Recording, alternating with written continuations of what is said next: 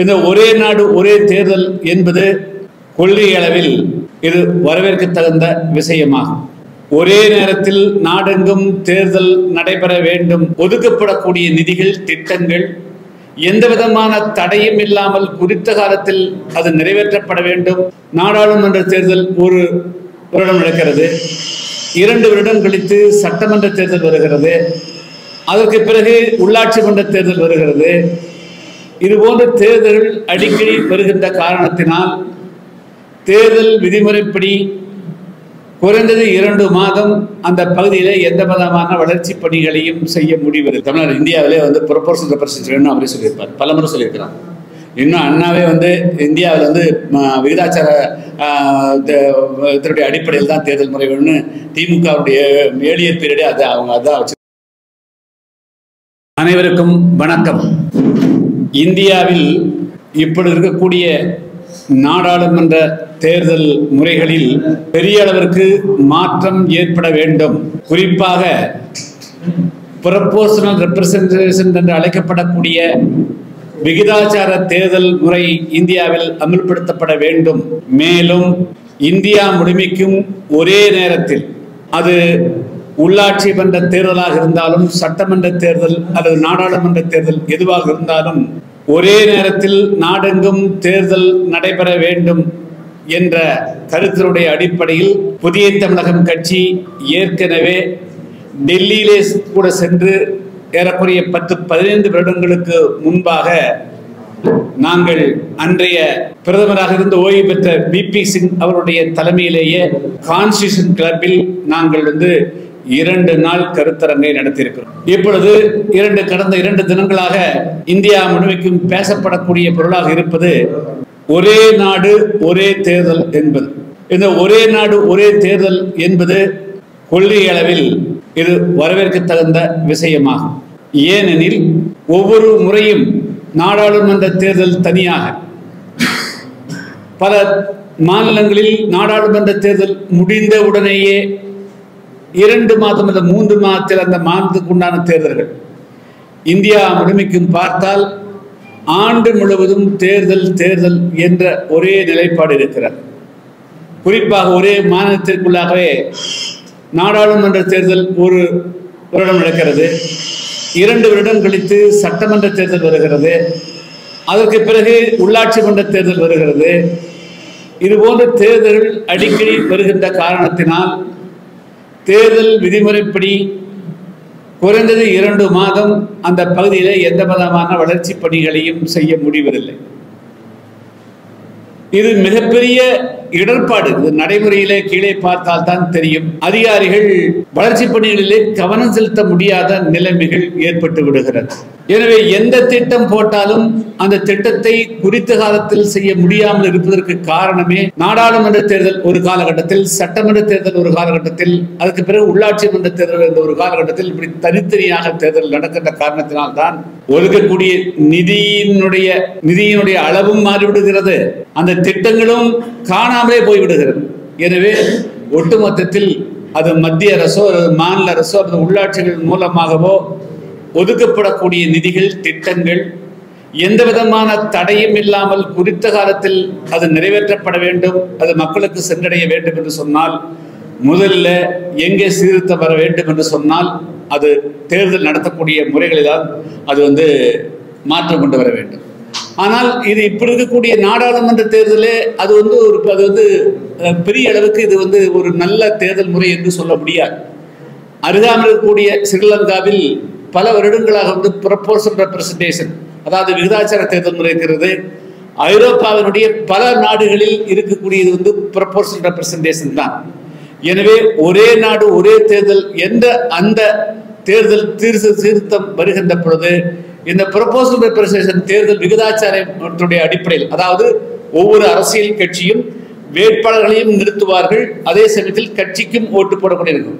எனவே ஒட்டுமொத்தத்தில் ஒரு கட்சி அந்த சட்டமன்ற அம், அல்லது நாடாளுமன்றத்தில் எத்தனை சதவீத வாக்குகளை பெறுகிறார்களோ அதற்கு தகுந்த பிரதிநிதிகளை அந்த கட்சி வந்து நேரடியாக தேர்ந்தெடுக்கலாம். முதல்ல வந்து எங்களுடைய கட்சியின் அந்த கட்சியினுடைய சார்பாக ஒன்று ரெண்டு மூன்று நான்கு என்று இப்போ நாற்பது நாடாளுமன்றம் என்று சொன்னால் நாற்பது நாடாளுமன்றத்துக்கும் வேட்பாளர்களை அறிவித்து விடு அறிவித்து விடுவார்கள். இப்போ அந்த கட்சி வந்து பத்து சதவீதம் ஓட்டு ஓட்டு பெறுகிறதுன்னு சொன்னால் அந்த பத்து சதவீதம் தகுந்த பிரதிநிதிகள் ஆட்டோமேட்டிக்காக தேர்வு பெற்று விடுவார்கள். எனவே இது வந்து இல்லையே அது- அதன் மூலமாக வந்து எந்த கட்சியும் ஒன்று நாற்பதையும் பெறுவது அல்லது ஜீரோ பெறுவது என்ற நிலை இல்லாமல் இப்போ வந்து ஒரு ஒரு சதவீதத்தில் ஒரு கட்சி ஆட்சிக்கு வருது ஒரு கட்சி ஆட்சியெல்லாம் போகுது. அப்படிப்பட்ட நிலைமைகள் எல்லாம் மாற வேண்டும். இந்த தேர்தலில் மக்கள் வாக்களிக்கக்கூடிய அனைத்து மக்களுடைய பிரதிநிதிகளும் எல்லா மக்களுடைய பிரதிநிதிகளும் நாடாளுமன்றத்தில் இருக்கணும் சட்டமன்றத்தில் இருக்கணும் இருக்க வேண்டும் என்று சொன்னால் தேர்தலில் ஒரே தே- ஒரே நேரத்தில் தேர்தல் நடத்தினால் மட்டும் போதாது. அடிப்படையிலேயே இப்படி இருக்கக்கூடிய இந்த நாடாளுமன்ற சட்டமன்ற தேர்தல் இருக்கக்கூடிய இந்த முறையை முற்றாக மாற்றி புறப்போசல் ரெப்ரசன்டேஷன் தேர்தல் விகி- விகிதாச்சாரத்தினுடைய அடிப்படையில் வாக்குகளுடைய விகிதாச்சாரத்தின் அடிப்படையில் பிரதிகள் அந்த கட்சிகள் தேர்ந்தெடுக்கக்கூடிய அந்த முறையை கொண்டு வந்தால்தான் அது உண்மையான பலனளிக்கும் என்பதே புதிய தமிழக கட்சியினுடைய நிலைப்பாடு ஆகும் இதுல ஏதாவது கேள்வி இருந்தா நீங்க வெளிநாடு இடைத்தேர்தல் வந்து. பல ஏற்கனவே பல சிக்கல் இருக்கு நம்ம முதல் தேர்தல் இந்தியாவில் நடந்தது அதுக்கப்புறம் காலப்போக்கில் அன்னைக்கு நடந்தக்கூடிய சூழ்நிலை வேற இன்னைக்கு இருக்க சூழ்நிலை வேற.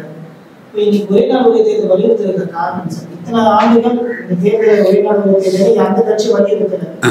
இப்போ வந்து எல்லா கட்சி வலியுறுத்துறதுக்கு காரணம் இல்லை அதாவது இப்போ நான் நான் என்னுடைய நிலைத்தை அதுதான் முதல்ல இந்த கேள்வி இருந்து சொல்லிட்டேன் நாங்கள் வந்து இந்த ஒரே தேர்தல் அப்படிங்கிறத இன்னைக்கு நாங்கள் சொல்ல இவங்க சொல்லிட்டாங்க சொல்ல புதிய தமிழக கட்சியினுடைய நிலைப்பாடு கடந்த முப்பது அந்த புதிய தமிழ் கட்சி உருவாக்கப்பட்ட காலத்திலிருந்தே நாங்கள் வந்து ப்ரப்போசல் ரெப்ரசன்டேஷன் இப்பொழுது இருக்கக்கூடிய தேர்தல் முறை ஐம்பது சதவீதம் வாங்கினா அவன் வந்து எம்பி ஆகிறாங்க. நான் ஐம்பது சதவீதம் எம்எல்ஏ ஆகிறாங்க. நாற்பத்தொம்பது வாங்கக்கூடியவங்க வெற்றி வாய்ப்பு இழந்துடுறாங்க. ஸோ அஞ்சு ஓட்டு பத்து ஓட்டில் கூட வெற்றி வாய்ப்பு இழக்கிறாங்க. இது வந்து இந்த முறையின் மூலமாக இப்போ வந்து இப்போ தமிழ்நாட்டில் இருக்கக்கூடிய மக்கள் ரெண்டாவோ மூணாவோ பிரிகிறாங்க வச்சுக்கோங்க.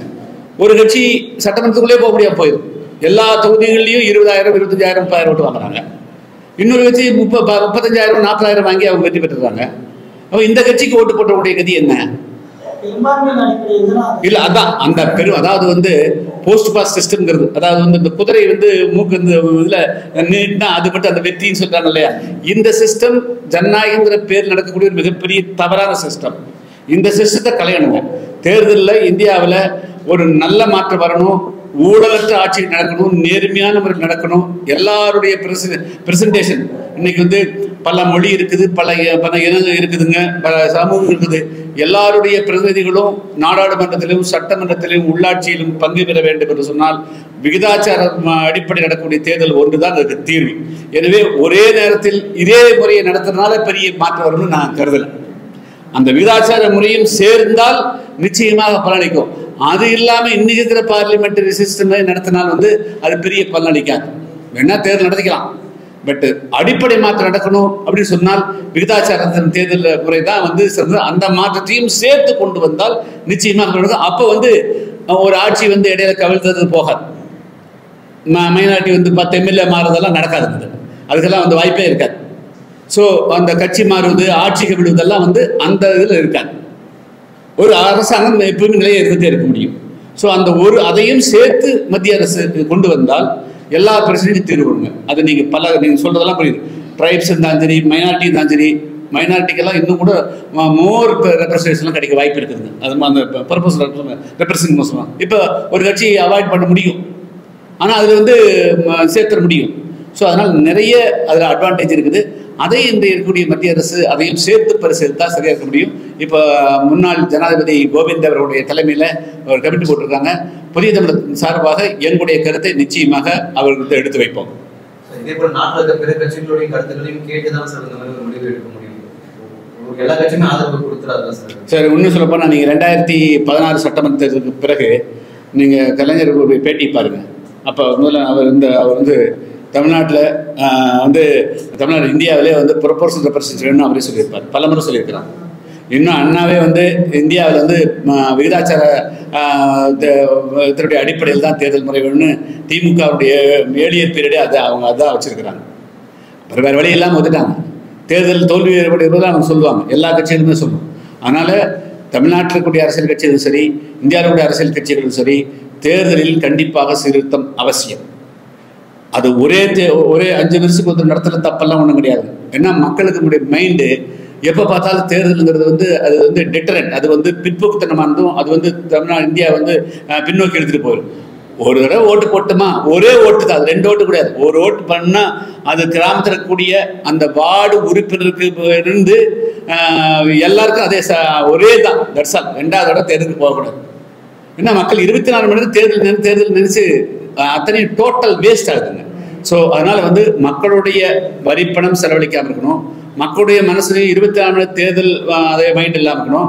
அரசியல் கட்சிகளும் ஆக்கப்பூர்வமான கருத்தை வந்து அஞ்சு வருஷம் இவன் வந்து இப்போ அவனுடைய பணி என்னென்னு மக்கள் வந்து எடை போடணும் அப்படின்னு சொன்னால் அவன் முழுமையாக அஞ்சு வருஷம் இருந்தால் தான் சரி கண்டுபிடிக்க முடியும். இதுக்கு எல்லாமே ஒரே தீர்வு வந்து ரெண்டு ஒன்று அஞ்சு வருஷத்துக்கு ஒரு முறை எல்லாம் எல்லா தேர்தல் சேர்த்து ஒன்றா நடத்துறது. ரெண்டாவது விகிதாச்சார முறைப்படி தேர்தலை நடத்துவது இன்னைக்கு ஏங்க அதை போய் இந்த இந்த இஷ்யூவே வந்து நேற்று இன்னைக்கு தானே வந்திருக்குது. ஸோ இந்த இஷ்யூவே நேத்தனை வந்திருக்குது ஆச்சுங்களா ஸோ அதான் சொல்லணும் எங்கள் புதிய தமிழகம் கட்சி ரெண்டாயிரத்தி நாலில் நாங்கள் வந்து டெல்லியில் கான்ஸ்டியூஷன் கிளப்பில் விபி சிங் வந்து அவர் பேசிக்கிறார். ஸோ அதனால் வந்து நாங்கள் இது இந்த பார்வையோடு தான் இருக்கிறோம். அது தொடர்ந்து பலமுறை நாங்கள் அது கருத்து வலியிருக்கிறோம் இப்போ வந்து க- கோவிந்தனுடைய கமிட்டிக்கு டெஃபினட்டாக நாங்கள் போய் நேரடியாக வந்து நானே கொடுப்பேங்க. அதனுடைய அவசியத்தை வலியுறுத்துவேன்.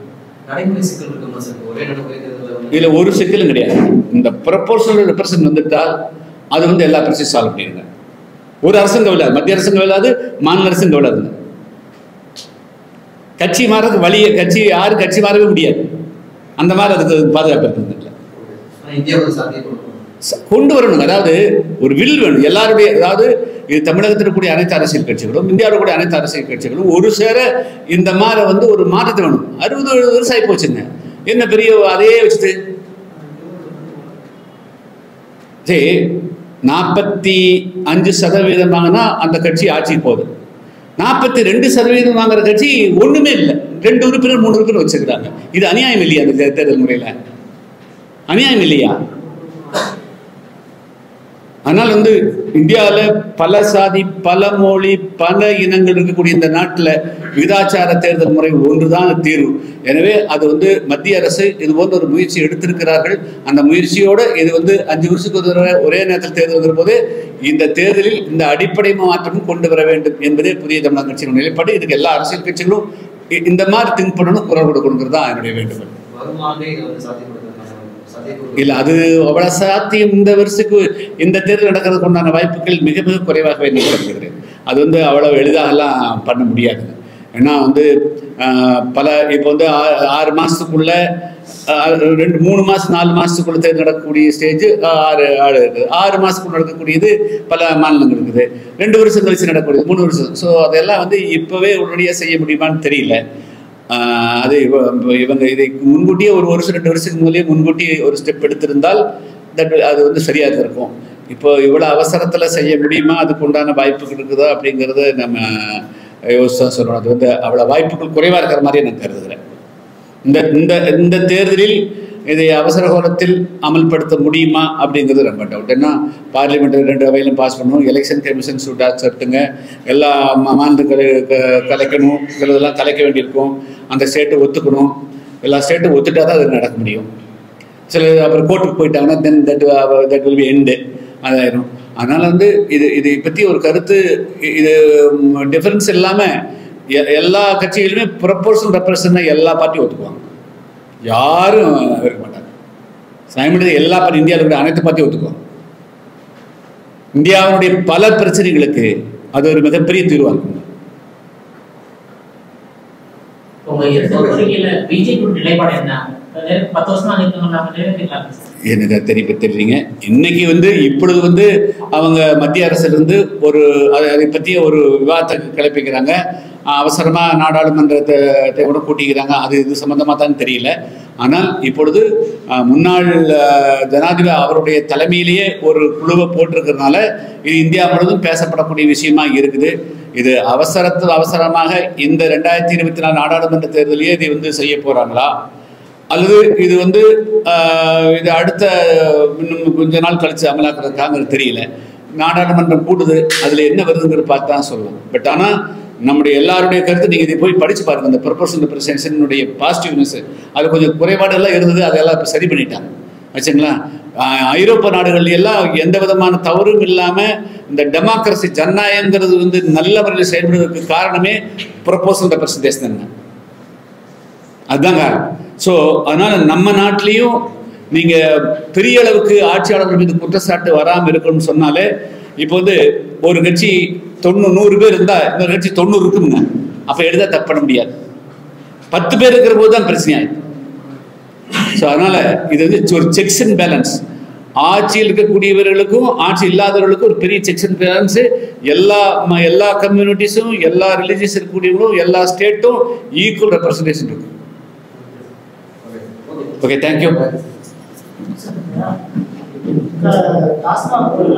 யூ நான் நிறைய விஷயங்கள் பேசணும் பட் இன்னைக்கு இது டைலூட் ஆயிட வேண்டாம். இது இது வந்து நீர்த்து போக வேண்டாம். இது வந்து ஒன்று மட்டுமே போட்டோம். இன்னைக்கு இது மட்டுமே போகட்டும் பிகாஸ் எல்லாரும் இது விவாதமாக இருக்குது. நான் நான்கு கூட சொல்லலான்றது தாசமாக இருக்குது அது இன்னொரு நாளைக்கு சொல்லுங்கள் ஓகே ஓகே தேங்க்யூ தேங்க்யூ